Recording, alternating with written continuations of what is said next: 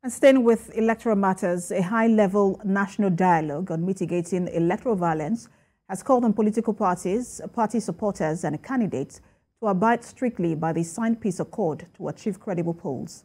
The call is in reference to the rising wave of election-related violence, which claimed no less than 169 lives in 2022.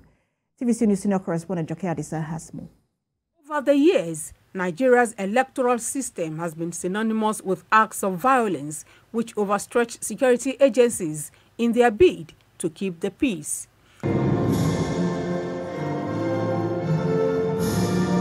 Kimpact Development Initiative is one of the numerous non-governmental bodies working closely with INEC and other stakeholders to change the narrative. This is a roundtable of eminent social workers, including the international community, determined to find a lasting solution to this development.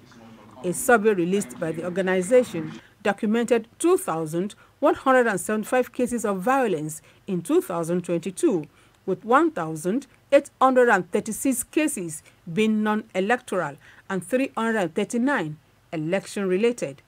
Out of the 339 cases of electoral violence, 169 deaths were recorded. No less than 25 cases of election violence have been recorded this January alone, and there are fears the figure will spike. If you also look at our continent, the Africa, you've also seen in the past years few uh, coup happening in some countries, and we also know that this is the right time to do what we can do to protect to protect democracy. Since the signing of the peace accord, we've seen more than 100 incidents of election violence in more than 30 states in more than 80 LGAs. For the nation's security agencies, the challenges posed by recurring violence in the build-up to the election are grave. The forthcoming 2020 general election is very critical and of utmost importance to the survival, growth and development of our democracy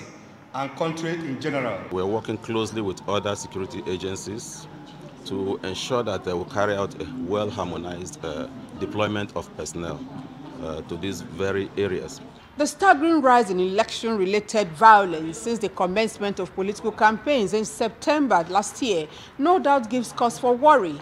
Expectations are that more conversations around mitigating the ugly trend will assist greatly in reversing the rising cases of violence in the interest of credible elections in the country. Joke Adisa, TVC News, Abuja.